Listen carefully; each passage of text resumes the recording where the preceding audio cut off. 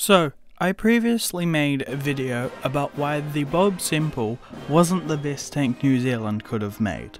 So I'll show you the better tank. This little guy is much better than the Bob Semple tank. The tank was superior in most ways, from weighing 20 tons less to being as third as high, even mounting an actual cannon, the Ordnance QF 2 pounder. Instead of being based on a tractor, this Chad was based on the Universal Carrier, and of course a truck, since we can't get away from that sick number 8 wire mentality that we've got. It went much faster, and had the option to use either tracks or the wheels of the Chevrolet 6 long hundredweight of which the tank was based on.